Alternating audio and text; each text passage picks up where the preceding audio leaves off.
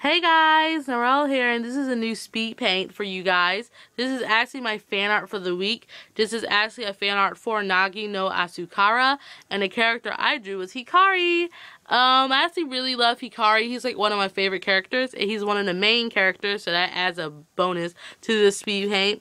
But the idea for this picture is that in the anime they have sea slugs, which is, which he is holding by the way, and the sea slug as said in the anime, it said if you make a wish on the sea slug, um, the bottom, the bellies of it will turn red, and that means your wish is granted.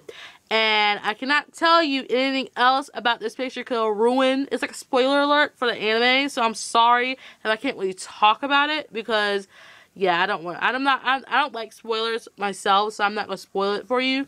But I really do recommend you guys to go check this anime out. The graphics are amazing. The storyline is amazing.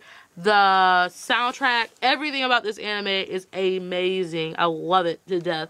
Like every episode is a cliffhanger. To me, it's just that great. And the episodes go by so fast that I never know it ends until the end of the song comes up. I'm just like, oh crap, I didn't want it in it it, I didn't want it to end. Sorry.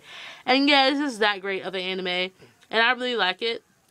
The story basically follows a group of kids from the sea. Um, their school closed um, due to circumstances, and they they are forced to go on top of the sea and go to a human school, which they are very aware of. They don't want to go, but later on they learn to accept that humans are nice too. So I can't really tell you anything other than that. But hopefully you enjoy the speed paint. I like how this turned out. I love how pastelly the colors came out because the color scheme of Hikari is very pastelly and not dark. So yeah, so hopefully you enjoy this picture. And yeah, so bye bye you guys and enjoy the rest of the speed paint. Bye.